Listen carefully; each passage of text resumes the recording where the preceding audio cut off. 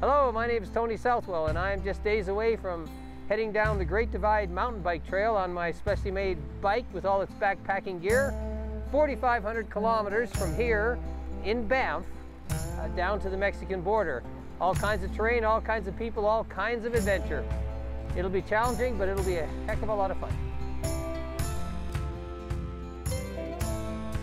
Well, it, it started with me, you know, having a real passion for riding bikes. That's number one. Tools, tire tubes, toothbrush, toothpaste, soap, all of that stuff's here. That's, and that's always been here, and that's heavy stuff, so it sits in the middle of the bike down low. My name's Jillian Curry. Um, I am Tony Southwell's girlfriend, and that's why I'm talking to you.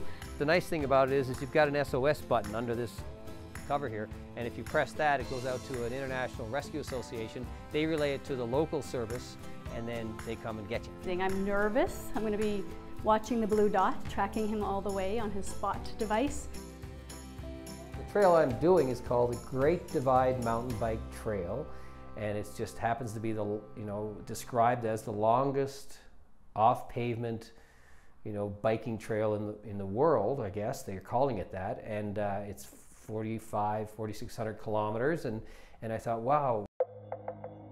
So he's leaving with these two Australians and you know, there's a flurry of taking pictures. Everyone had to take their, their pictures with the GoPros and and then it's like, boom, they're gone. So it was sort of anticlimactic, the fair, like we hugged and then boom, they're gone. It was sort of like, you know, I was thinking, oh, am I gonna cry or something? But no, it was sort of like, oh, yeah, there they go.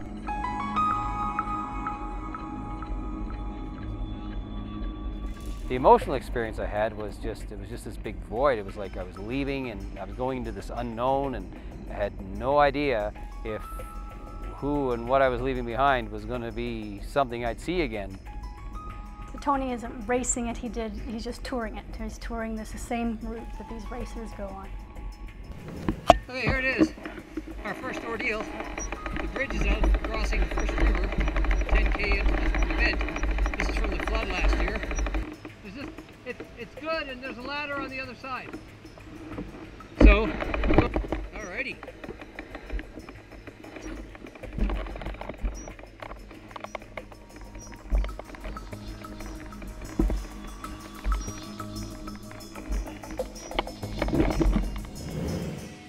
First evening on the divide. Fell short in miles, but what we lost in miles we made up for with this. It's just beautiful here.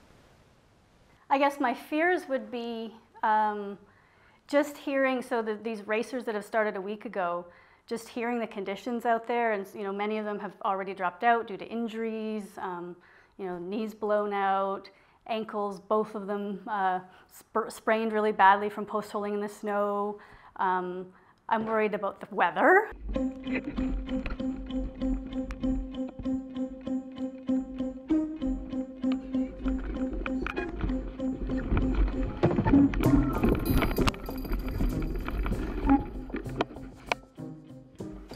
Showing off in the snow equals first flat. What a dummy.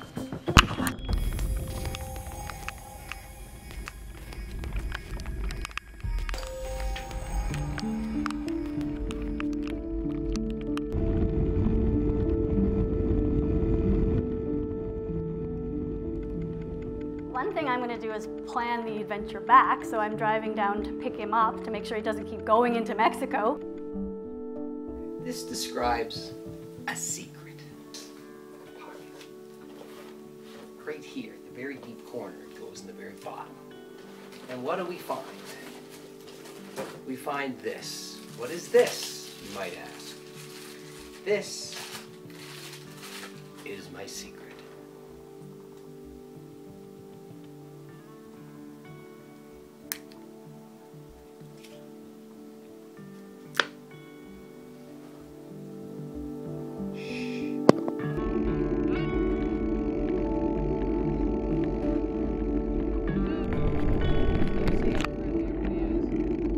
One thing that's really nice actually is to miss somebody. you know, they go away and you miss them. That is that is a good thing. and uh, so I was kind of, you know, all at the same time while I was missing him, I was like, that's incredible to have someone that you miss and that you really appreciate being there. Stopping for lunch. We start our climb now. Here we are, stopped by a beautiful creek. Matt is uh, decided that he's going to go croc hunting. But uh, I tried telling him we don't have any crocs here. The only crocs we have you put on your feet. I'm, a, I'm a bit of a goof. I'm a bit of a, um, I'd say I'm a bit, sort of, I'm just a completely hyperactive, goofy guy. I'm always trying to get people laughing and being silly and doing stuff. Okay, we're over the second divide pass today. It's beautiful, it's hot, it's nice riding, interesting people out, getting ready for the weekend.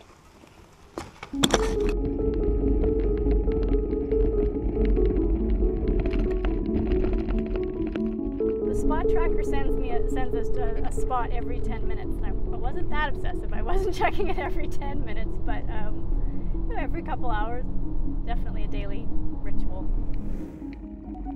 Two things fascinate me. One is people who can really push themselves beyond their physical limits, yeah, and uh, and also people who um, who can just get away and spend a lot of time where they're disconnected, which is not something we do often now.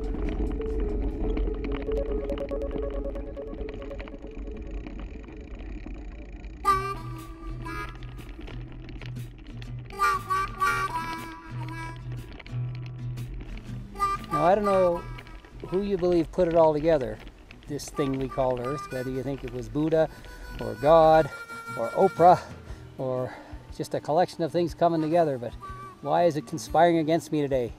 Every time I'd start to ride, the sun would come out. Every time I would take a break, the sun would go away.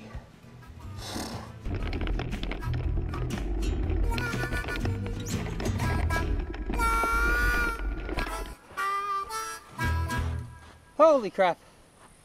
25 kilometers of feeling like I've been probed by a group of clumsy, vindictive, bitter, and malicious aliens. Uh, we may have some issues because the boys are having back injury. I'm not sure what they're capable of, so it may come to a point where I go off on my own. It's a bit frustrating, but that's the way it is.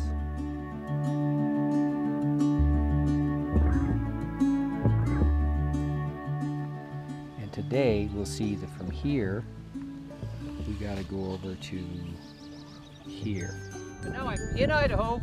I'm in Montana. I'm at Red Rock Pass. Idaho, Montana. These are the mountains. We're halfway up here. We're going to climb 10 kilometers up to the top here. This is Union Pass. This is almost 10,000 feet. Then we're going to go up and down over the mountains. And as you see, we lose elevation. And then at the end, we get down to Pinedale. 130 kilometers away. So, here, up to the crest, Union Pass, zoom, zoom, zoom, zoom, zoom, zoom, pedal, pedal, pedal, pedal, pedal, down to here. And then, we have a day off and we, we eat.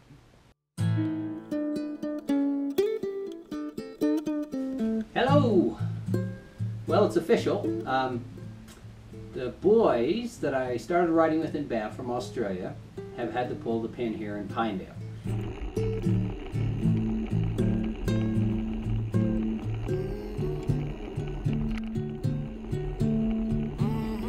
And I knew what the big challenges were along the route for the racers.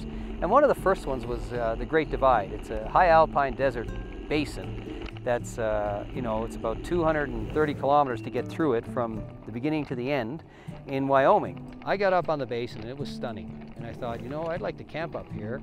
But after about two hours of the same thing, I thought, oh goodness, I'm just getting through this thing. I just pedaled, drank my water, pedaled, conserved my water, pedaled, pedaled, pedaled, and uh, you know, I hit the pavement before it got dark, and I had about maybe 20 kilometers, mostly downhill, on a pretty busy paved road into Rawlins. And I got through there, and it was uh, one of those things when I was pulling in to Rawlins, I thought, I did this.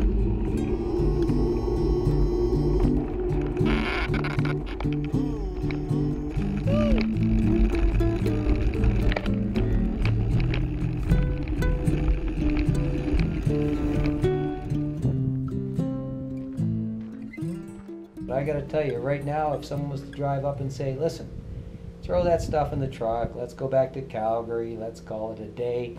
I'd be tempted. Anyway, miserable day. Ute pass kicked my. That's all I got to say about that. I knew that he didn't need me to say to him, you can stop whenever you want to, or I'll come get you wherever you are. I knew he would know that. So I just said, you know, I'll be at the end. You need to, uh, you know, I'll be there at the end. And so I'll meet you there.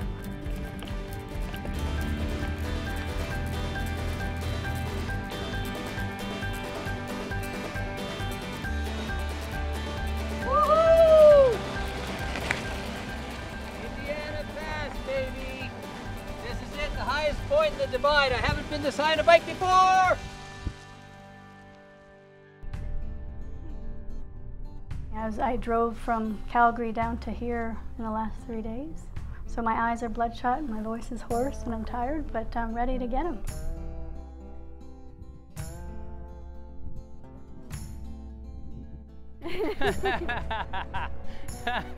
This is where I fall down. oh.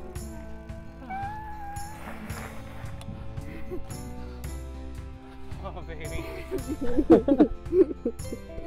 oh, God, I love you. How are you? Did you ride 100 miles an hour for the last did it. little while? We did it. You did it. No, we did it. You got me here. Oh, goodness. Yeah, I was going fast. I don't want to just own the summer. I don't want to own the winter. I don't want to own the fall. I want to own life. I want to have an own life project. And I want you as my partner. you got that. I know I do, honey. but, but I want for real. I want you here. I want you with me. I am here with you. you are insane. I'm serious, honey. I want you as my partner in my life project, my own life project. And I want you, will you marry me? Of course, I already have. I And in this little box is a ring. And it's a rough cut diamond. It's raw, it's black. But like our project, if we put time and energy into it, it'll be awesome and brilliant. And please, be my partner in this thing. Marry me. oh God, I love you.